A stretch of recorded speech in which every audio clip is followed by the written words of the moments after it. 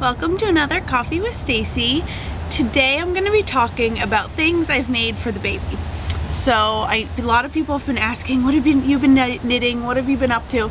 So I'm going to show you the things that I've been making, and that includes sewing. Um, and so it'll be fun. Um, it's chilly out here. This is probably the last one of these that's going to be filmed outside this year. It's probably in the 50s, but um, you know, I take the good light while I can get it. So, um, because the first time I filmed a coffee with Stacey, I got multiple reports about how poor the lighting is. And so, um, hate to say it, the poor lighting's gonna be back soon. Um, it's Minnesota, there's not a lot I can do about that. Um, so anyway, uh, what's been going on? Um, I've been traveling a lot recently. I went to Stitches East, which was great in Connecticut, had a wonderful time. Um, and then this past weekend I was at a wedding of a friend and so it's been really busy. But in the meantime, I've been getting things ready for the November Kit Club. Yeah, it's October, what's my watch say, 22nd. And um, already in full swing getting ready for the kit club because that's how long it takes to get things ready. And I'm working on kits that will be released this Friday for this guy. Um, he's one of my favorite special kits. He's a Christmas owl, Nelson the Christmas owl, and I think he's super cute. So um, I'm busily winding. Um, I got a huge box of green and red and white yarn and I've been winding as fast as I can. So um, those will be up on the site on Friday. Um, I'm hoping, fingers crossed, um, so every kit I've put up basically has sold out. Um, and I know that makes people sad um, because, well, you know, people want kits and then they're not there. And really I'm doing as much as I can. So I'm hoping that even if the Christmas owls sell out, um, I'll have enough time to order more yarn and put up a new stock. So that's my goal. Um, no promises, but that's my goal on the Christmas owls. And, um, and if you don't know, this is very exciting news, I also ordered I should have brought them with me, but I didn't. Fresh Stitches tattoos. So every shipment that happens between now and the end of the year will have a Fresh Stitches tattoo. Um, you can see they're on, you know, the blog and Instagram and stuff, photos of them, and they're super cute. They're in color, um, and I thought they'd be a nice treat for the holiday season. So let's get started. okay, so um, people, well, people ask me a lot of questions. Um, one question I've been getting is, have you been making a million things for the baby? And the answer is sort of yes and no. So um, as I show you things, you'll be like, you are making a million things. So the answer is sort of yes. But I haven't been spending any more time crafting than usual. It's just that instead of making a shawl or a sweater myself, I spend that same amount of time knitting baby sweaters and since they're so small and hats are so so small I can finish like you know five in the time it takes to make me a sweater so I haven't been I don't feel like I've been putting a lot of effort into it. I've just diverted my normal knitting time into knitting smaller things which is fun because everyone likes the smaller things.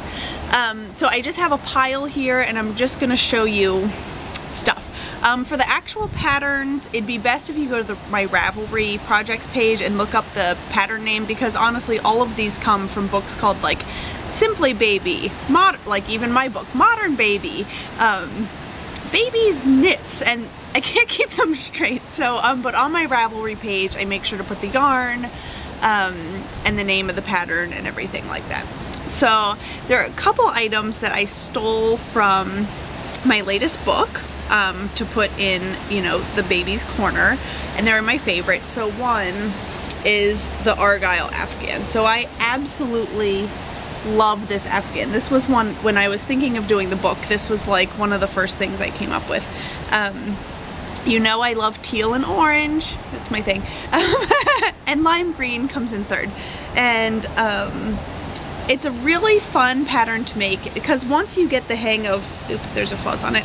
Once you get the hang of, you know, how the colors go, it's just basically moving over one stitch each time. You know, it's not like a comp, it's not like it's a lion or whatever. Um, you know, it's pretty like rhythmic and then this is surface crocheted on top. so um, this one's really fun and I like it. And it's a nice like crib size. It's not that big. Um, well, whatever. I don't even know if that's in the frame of the camera. It's about 30 inches by 30 inches. Um, and so that's a fun um, little Afghan. I know, I know, I didn't really mean to say crib. I know you don't really put a blanket in a crib with a live baby. I've gotten the disclaimers. It's just a crib size, like for a stroller or some other task. Um, the other one that's probably my second favorite is um, the asymmetrical basket weave Afghan that's in my book. So this one also probably not far back enough that you can really see it. But um, so the normal basket weave pattern is doing front and back post double crochet to make um, you know a basket weave like um, but for this Afghan I changed up the normal squares so that they're um, you know just doing something a little different. So the blocks are much bigger. Um, and this is made from Martha Stewart's, um, it's a Lion Brand yarn, so it's Martha Stewart's, can't remember, um, it's, it's her special yarn. So um, Lion Brand has the yarns that you see in the big box stores and then it has yarns that are only available either online or in their studio stores or their outlet stores. And this one's super nice. It's part wool, part acrylic, and it's just really, it's really smooth. Um, like it has a really round texture to the yarn and the back post front post double crochet is incredibly dense. So this Afghan I mean I don't know if there's no way you can tell but it's really heavy. Like it's just dense and heavy so it'll be really nice and warm um, and also machine washable. But almost everything in my book is machine washable obviously. Um, so everyone says to me like um, I knew it. I was on to you. You came out with a baby book, so I knew you were having a baby. And I kind of hate to be the bearer of bad news, but I also wrote a baby book in 2010. Um, and the truth is just that baby books are super popular because people obviously like making things for babies. Um, so my first book, um, Cuddly Crochet, has been reprinted like I don't even know, like four or five times. It's been translated into German. Um, like, it's really popular. And so that's really the reason I wrote another baby book. I have to tell you. It has not much to do with my personal life, but the secret's out. Okay, so this is my basket of things. i am just gonna go in random order. I'll start with hats. um, hats go on the baby's head. Um, they're kind of important because our house isn't like terribly warm. We live in Minnesota, we go outside, blah, blah, blah. So I picture there being lots of hats. I have lots of hats, the baby should have lots of hats.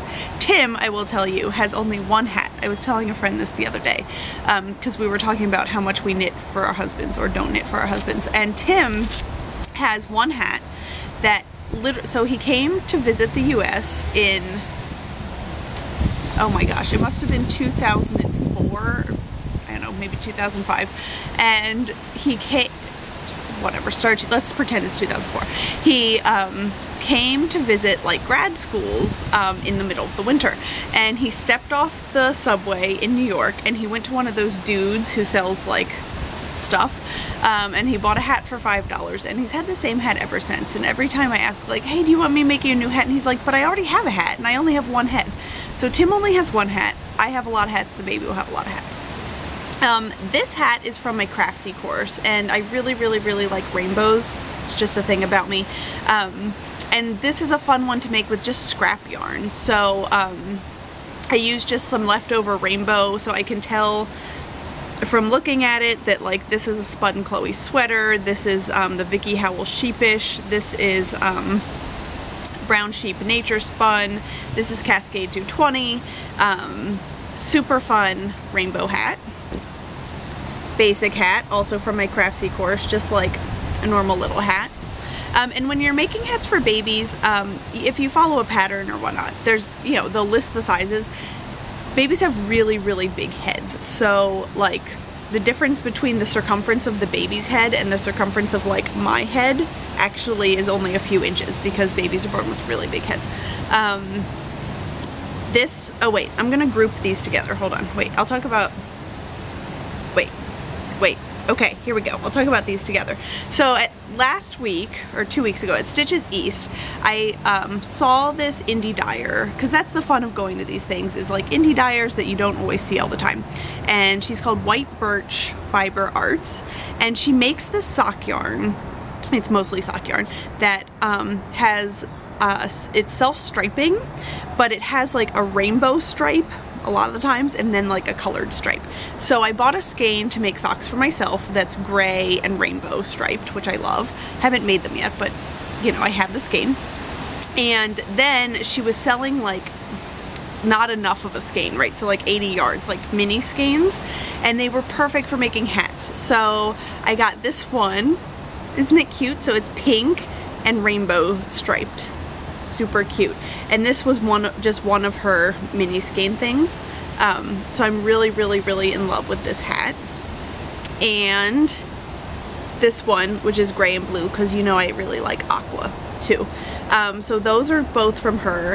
And for most of these hat patterns, I'm just knitting. I'm on size, um, I think I'm on two and a halfs, um, which are three millimeter needles, cast on 96 stitches, knit, decrease, yeah, it's a hat.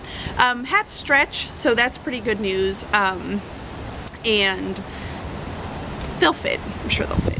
Um, this hat is from sock yarn that I had left over from a pair of socks um, from Wild Hair Fibers. So you can tell the striping is just different. So like these were made to be self-striping yarns. Um, this yarn was just made with colors. So the stripes, they sort of get organized. Um, but not really. So you can tell, especially in the decreases, the coloring gets off. Um, so that's sort of the difference between an actual self-striping yarn and a yarn that's just kind of dyed to like be rainbowy. Um, but it's still cute and I really like the bright colors. Um, and of course, because those are sock yarns, they're all super wash, like machine washable. So um, I love those. This hat, I actually made one for me and then one that matches for the baby. Um, it's from uh, Tin Can Knits has a collection called the Simple Collection and they're free patterns and they're really amazing. There's one for a sweater, there's one for a hat, a cowl, socks, really amazing. Um, I highly recommend them and this is the little hat, I think it's called Barley um, and this is supposed to be garter stitch, but I wasn't paying attention, so it's reverse stockinette. But I still think it's really cute, um, and it's made from shepherd's wool, which is one of my favorite yarns. It's incredibly soft. It's not machine washable. To be honest, that doesn't bother me that much. I hand wash a lot of our stuff anyway because, you know, I knit a lot. Um, and also a hat, like, I don't know, how often do you really need to make a hat? I have a few, so if it gets dirty, I'll just pull out a new one. This one I'm very pleased with. So this, um, the pattern, which I talk about the pattern or the yarn, I don't know. So the pattern is um, a free pattern from Purl Bee. It's called Garter Stitch Ear Flap Hat or something because it has the ear flaps. Um, and I really fell in love with it because of the ear flaps. Like, you know, I like a hat to have like some ear flap, cover your ears, you know, because sometimes if by the time it covers your ears, it's over your eyes, it's all confusing. Um, and I found this yarn. So Noro, you've probably heard of, they make Silk Garden, which is a yarn like wool, silk, and it's usually like self-striping, like a long rainbowy thing.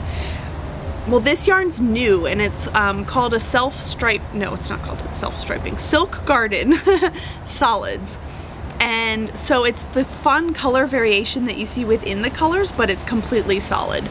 So I don't really know how well it shows up on the camera but like it's mostly white and there's just like these bitsies of like blues and pinks and greens. Um, so I absolutely just love the yarn and the yardage is 110 yards. Um, or maybe it's 110 meter no it's 100 meters 110 yards um, it's just a 50 gram ball so it's sort of like half the size of a normal worsted weight ball um, and I just thought it would be great for a hat um, the pattern I changed a little bit um, the one in the sample has these lines that are um, I don't know, details, accents. Um, the decreases like stick out. I wasn't so into that. I thought it was a little distracting. I just wanted the ear flaps, so I just did normal decreases instead of doing that. I'm going fast because last time when I was talking about my socks, the camera cut off on me. And I know I said these would only be 20 minutes long. And I read a blog post that said like the ideal video length is 20 minutes long. So I'm trying to be ideal. Maybe it'll work. um, this hat is um, leftovers. So shepherd's wool, one of my favorite yarns, the brown one I showed you earlier, um, makes one called shepherd's wool crazy, which is what she does is she takes the mill ends. So this is like apply, you know, green or brown or whatever, and she plies them together and they make this incredible yarn. Like you can see um, they're marled so the two plies are different colors and they sort of fade into each other. And um, I had just like little bits left over from projects but I had um, a, a, bit like I don't know like 30 yards or something that was blue and green and then one that was gray and green. And so I just made stripes. Um, I don't know I think it's cute. I wonder if this one's a little short. I think um, it's not, I'll show you some other ones, like it's not as deep as some other ones. Um, but then again, like you never know how big the baby's gonna be when it's born. And so whatever, I just made one of that size and we'll pretend it'll be fine, right? um, I did a little bit of sewing. So um, babies use a lot of like burp cloth, washclothy sort of things. And if you read my blog, you'll know I sew all of our own um, dishcloths. So it's just um, bird's eye, which is like old school diapering fabric, and flannel, and they make great washcloths. I've made two iterations of them. We have dozens. I wipe everything with them and then just throw them in the washing machine. And so making something like a burp cloth is exactly the same, except it's bigger.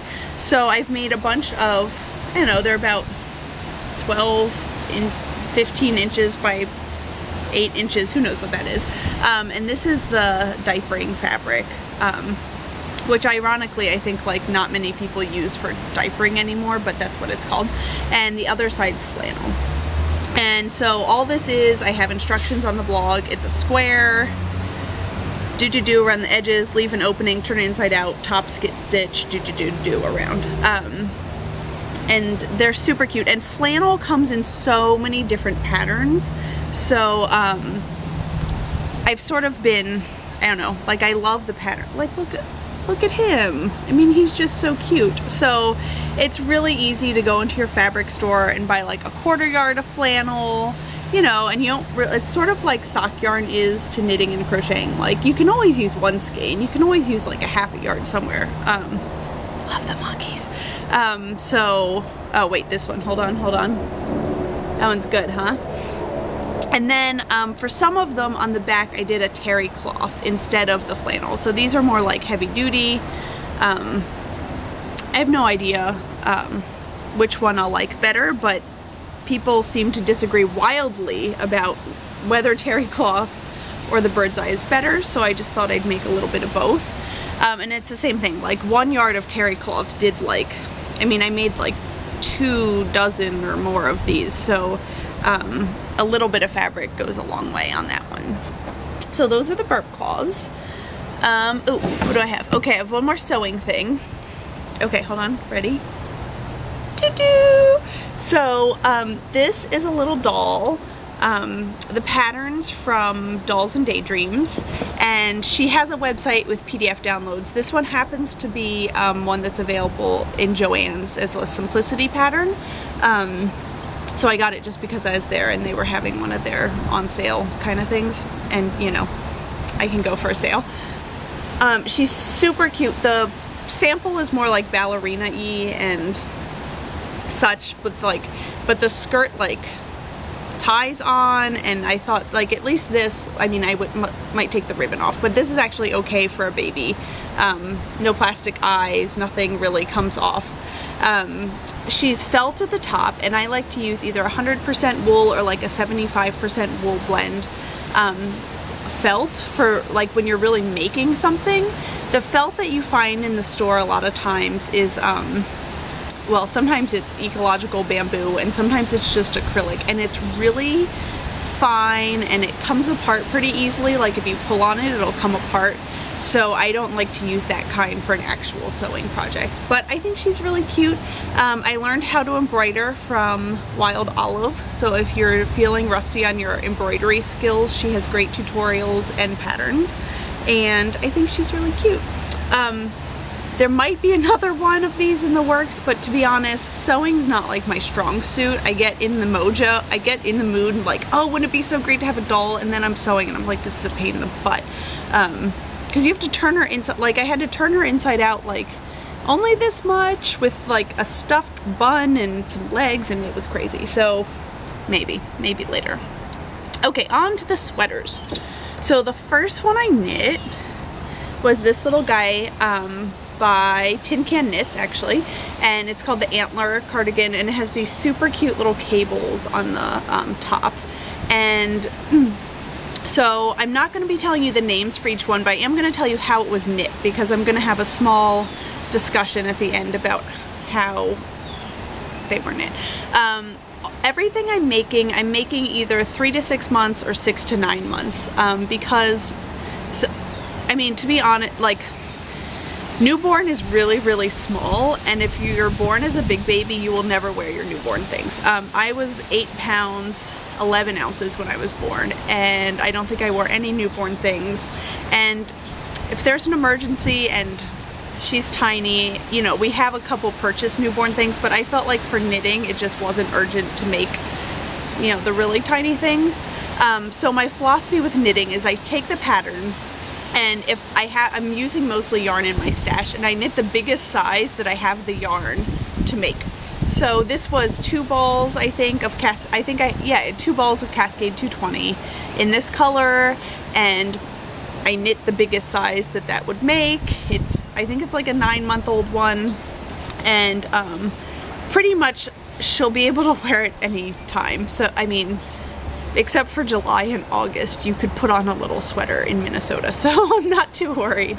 Um, the orange buttons, because like I said, I like orange and aqua, um, and I really love this one. So this was knit, um, this was knit flat, right. So the body was knit, I mean, I knit everything on circulars, but the body was knit flat, and then, um, did I seam? Nope, no seam. So then the sleeves were knit in the round super cute. And then the button band you pick up later to come back and do the button band. I really like doing that one. This one is one of the ones I can't remember the name of, you know, Simply Baby, Baby Simple, um, striped sweater is the pattern. And this one's really nice. So this one's a cardigan, right? So it buttons down the front so it fits over their head. Um, this one's a pullover, but it has the buttons at the neck because you always want it to be able to pull over their head. Um, this one was knit completely flat. So the front, easy peasy, like basically a rectangle with some stuff at the top. The sleeves, easy peasy, basically rectangles. Um, so it's really, really easy knitting to do it flat. And then you have to do some seaming to sew it up. So um, it depends how you feel about seaming. It depends how you feel about knitting. Um, I'm going to talk about one piece I'm working on now and why the next one's going to be flat. and this one's striped because I had like some orange and some gray and a striped thing is just a really great way to use up extra, you know. this is super cute. It's sort of spring, like that season exists sometimes. Um, it's a shrug. So this is actually a bigger size. I think it's one to two years even. And um, it's made from Blue Sky Alpacas cotton worsted. It's really, really nice yarn. So it's not gonna be too hot just a little shrug. Um, it's knit um, flat and there was seaming in the sleeves and then you pick up around the edges to do this little um, border and it's not meant to close so it'll fit on really nicely. And then this one um, is a cabled sweater and also has the buttons at the top and it was knit flat. Um, this one I did something a little sneaky. I did all of the cables and I didn't feel like doing them on the back. So the back's actually plain. Because like, who's going to see the back? Um, I think it still looks fine. If I did it again, I would um, probably kick out let's say three stitches from the whole back panel because cables slurp the fabric in so then when I did the back plain the back's slightly bigger um, I was able to block it out a bit um, but like you can tell the seam is here you know and this is the extra fabric that's coming around from the back um, so that's that okay the last thing I have to show you is what I'm working on now so this is a Tin Can Knits pattern. Um, it's flax, so all of the things in the Simple collection are called like oats, flax, barley. Um, and it's super cute. So it's top down, knit in the round, and which is I, a way I love to do things usually. Um, in an adult sweater, what I do is I um, put on a nine inch circular and I just like go to town on the sleeves. Um, these little tiny things are too small for the 9 inch circular. So I'm on two circulars, which is fine. I'm not going to complain per se about being on two circulars, but um, usually if I use two circulars like on a pair of socks or something, there's like 30, 40 stitches before I have to move to the next one. The baby sweater is so tiny that I only have like 12 stitches before it's time to go on to the next circular. So I really feel like I spend more time like going on to the next circular. Um, so I'm in a phase where I feel like knitting it flat is better. That phase may change. Um, I don't mind seaming that much really compared to other people who really don't like seaming. So um, what I think I'm actually going to do is I really love this pattern um, and I might make another one and then I would just add a stitch to the sleeve dimension and work it flat and use that stitch up seaming because I just think it goes so much faster. Like I knit the whole body in like a sneeze and then I've been on this sleeve forever because it takes a really long time to do. And that has nothing to do with the pattern. That's just me not liking switching needles. Um, and also the two circulars thing can be limiting in a way because you have to have two circulars that are the same size, which is a downside. Um, Whereas if you knit something flat, you only have to have the one circular. So I'm working on this guy, I'll finish it up. This again, I think is, um, I think it's a one-year-old size. Um, so she'll wear it sometime, I don't know. Um, so that's what I've been working on. And I guess I said next time I was thinking of doing a sweater that was flat. Um, to be honest, I think like she has enough sweaters. I don't really know how many sweaters you need, but they're really fun to make. And so I keep making them. Um, I don't know how many hats you need. I don't know how many blankets you need. She actually has like five blankets and my mom's gonna make her a blanket because my mom made me a blanket when I was a baby so my mom has to make her a blanket. So she has a lot of things. That's okay, right? Like it's normal. People are excited. People make things. Um, oh, I'll do the obligatory bump photo. Ta-da! Wait, am I... Sorry. See, I don't have one of those cameras where I can tell what you're seeing. So, ta-da! I'm wearing a lot of clothes because it's uh, chilly outside. So, anyway, that's what I'm knitting for the baby. If you have pattern suggestions or things like that, do put them in the comment section of the blog um, because I, you know, look forward to hearing them. Actually, the, um, you know, some of these patterns were recommended to me by other people, and so it's great to know about them. And um, also, just an administrative note, on the blog you may have noticed that um, there's now a CAPTCHA, so you have to do a little math problem. It's really easy. I didn't let them even put multiplication in um, because of the amount of spam that was coming in. So I'm lucky in that Fresh Stitches is really popular and gets lots of hits. That comes with problems. Um, so I was getting so much spam that the website was shut down twice by my provider because it was using up too much memory on the server. So they were like, you have to fix it or else we're gonna like get you in trouble.